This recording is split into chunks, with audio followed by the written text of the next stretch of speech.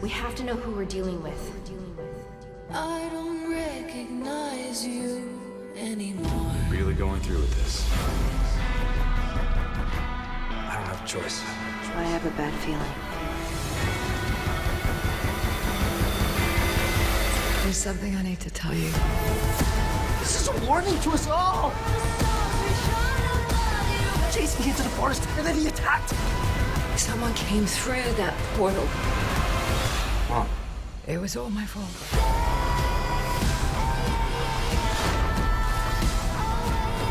I'm the key. None of this is normal.